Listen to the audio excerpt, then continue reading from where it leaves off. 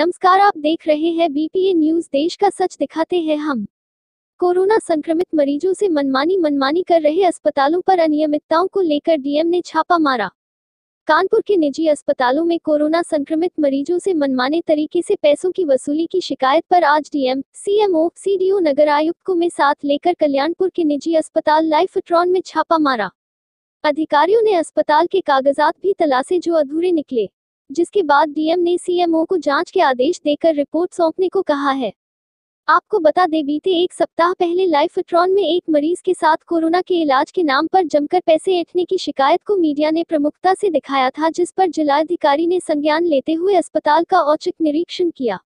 वहीं कल्याणपुर के प्राइवेट अस्पतालों में कोरोना संक्रमित मरीजों से इलाज के दौरान पैसे ऐठने की लगातार शिकायतों को ध्यान में रखते हुए आज सुबह साढ़े दस बजे जिलाधिकारी आलोक तिवारी ने सीएमओ डॉक्टर अनिल मिश्रा और अन्य आला अधिकारियों के साथ अस्पताल परिसर का औचक निरीक्षण कर उचित कार्यवाही करने की बात कही।